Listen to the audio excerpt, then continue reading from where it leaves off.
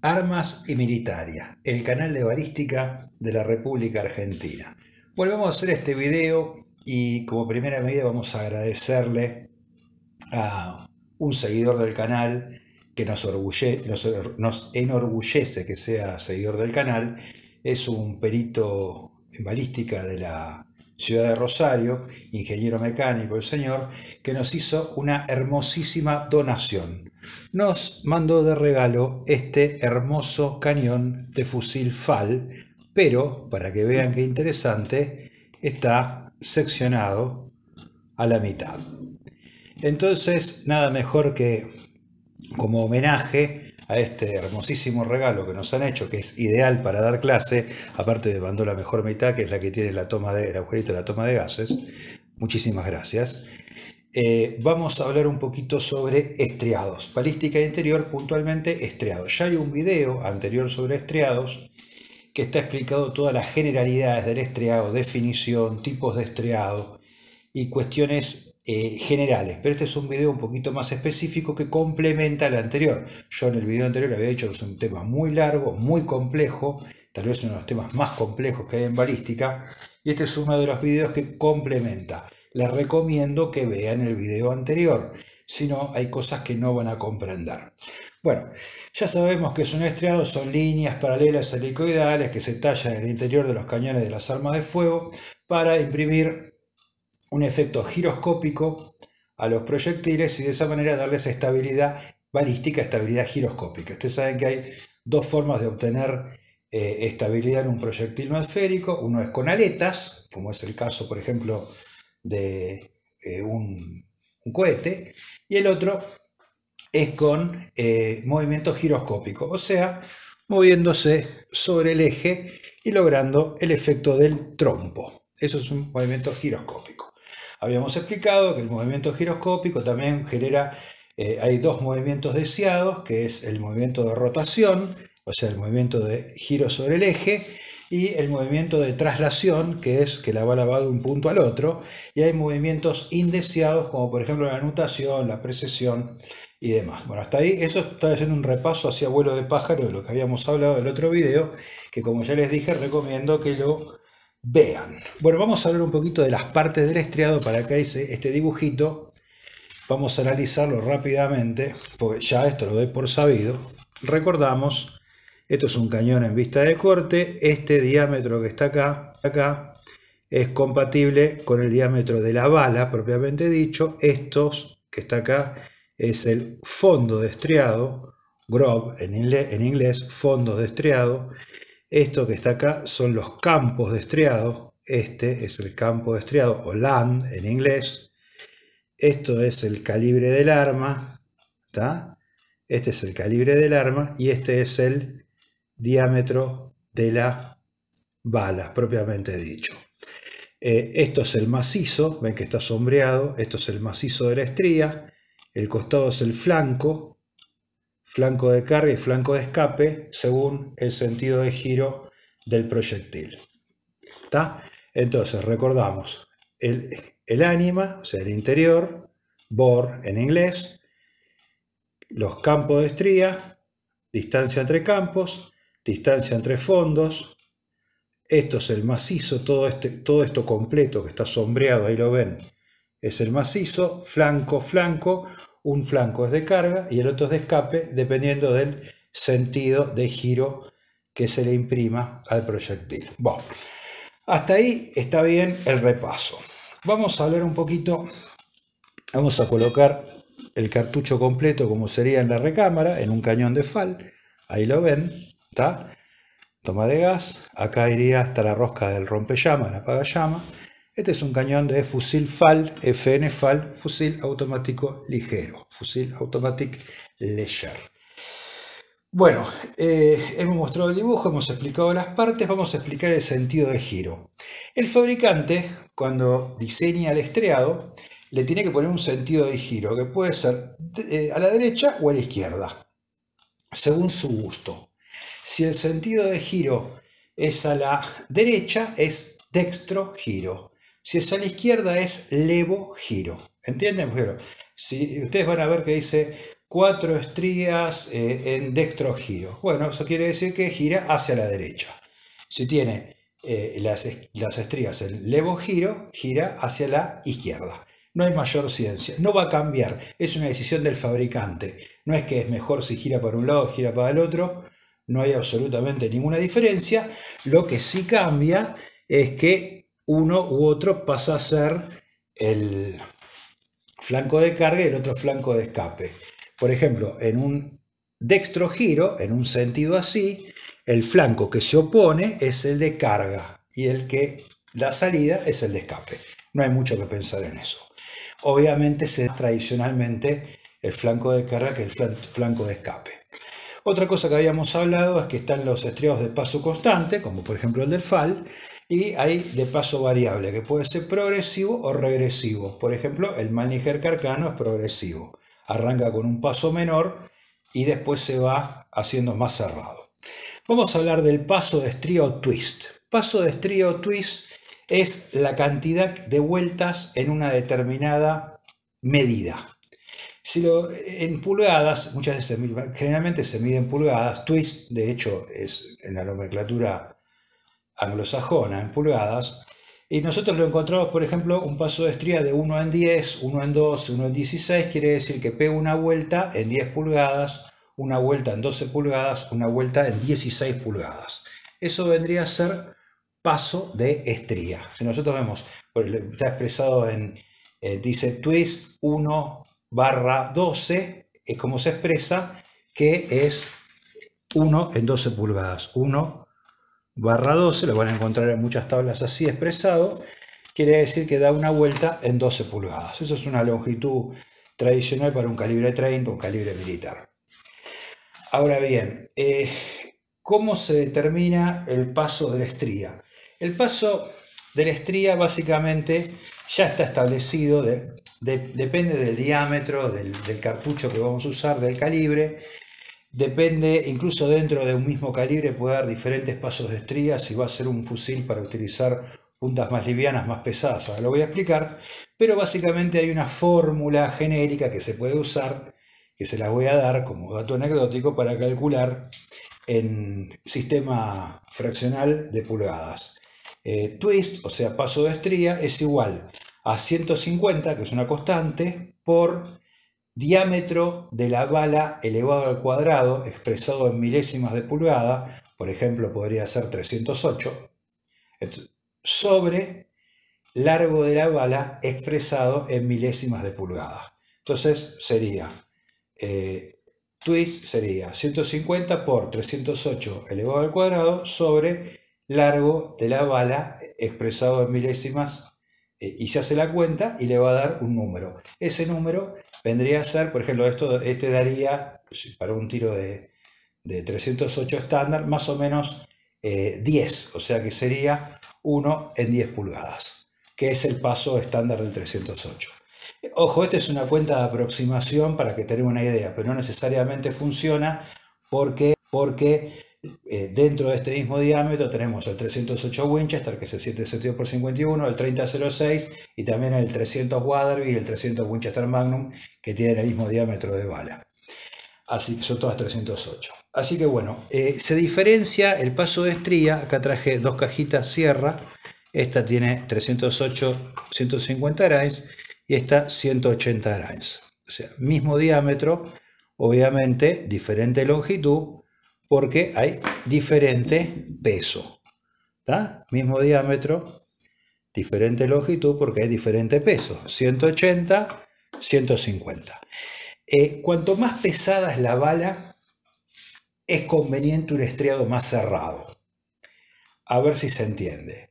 Si yo quiero un 308 Winchester, tiro clásico, que va a tirar tiros muy livianos, 1 en 12 andaría bien. Si yo ya quiero andar tirando 180 grains, 1 en 12 me va a subestabilizar, 1 en 10 sería lo ideal. El caso más emblemático de esto fue el M16.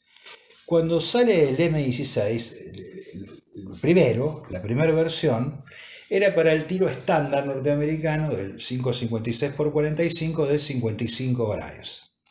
Y el paso de estría era 1 en 14. Los tiros salían subestabilizados o estabilizados con lo justo. La ventaja que tenían era que ni bien pegaba, la bala volcaba, obviamente, y hacía heridas bastante lacerantes. Esa es la ventaja que tenía. La desventaja que tenía es que no siempre llegaba a estabilizar bien. Cuando se modifica la bala del, del, 5.56 x 45 y se adapta el muerto tiro belga eh, de 62 grains, eh, lo que sucede es que directamente ya no estabilizaba en 1 en 14, entonces se lo modifica a 1 en 12, tampoco estabilizaba y, actúa, y después la última modificación es 1 en 7,5, que es lo que tienen actualmente, que sí estabiliza 1 en 7,5 estabiliza los de 62 grains.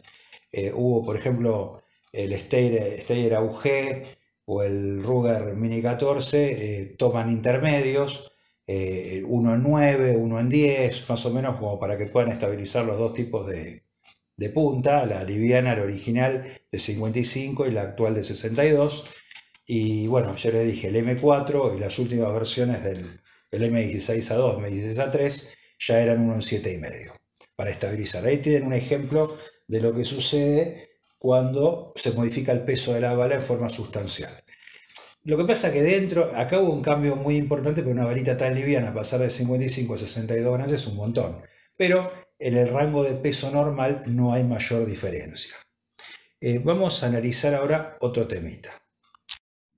¿Qué sucede si eh, entonces uno puede decir, bueno, entonces le pongo un paso de estría mucho más cerrado, total, mejor que sobre y no que falte. Bueno, podría ser, pero ¿qué sucede? Yo le pongo un paso de estría excesivamente cerrado, tengo lo que se llama sobreestabilidad balística. Lo que sucede es que aumenta el RPM de giro del proyectil en el, vuelo, o sea, se incrementa demasiado y se incrementan los movimientos indeseados básicamente incrementa la nutación y la precesión, que yo lo he explicado más de una oportunidad, pero que lo voy a volver a mostrar. Dijimos que los movimientos deseados son rotación y traslación, o sea, del punto A al punto B y rotación para dar estabilidad balística. Sabemos que el proyectil viaja tangente a la, a a la, parábola de tiro, a la trayectoria, viaja así, no viaja, viaja así, viaja tangente, tangente a la trayectoria. Bueno, si nosotros le ponemos un paso de estría demasiado cerrado, forzado ya para el calibre, lo que logramos es exacerbar la velocidad de rotación. Al exacerbar la velocidad de rotación, generamos más efectos indeseables, puntualmente más nutación y precesión, corremos el riesgo que el tiro pegue de costado, corremos el riesgo de lograr la desestabilización balística, o sea que vuelque, en vez de volcar en el aire por subestabilizado, como podría pasar si gira muy lento, se exacerba demasiado la nutación, la precisión y el tiro empieza a perder precisión.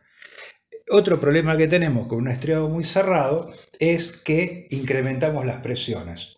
No es un tema gravísimo, pero se incrementa la presión. Y otro problema que tenemos con un estriado muy cerrado es que podemos llegar a saltar la estría.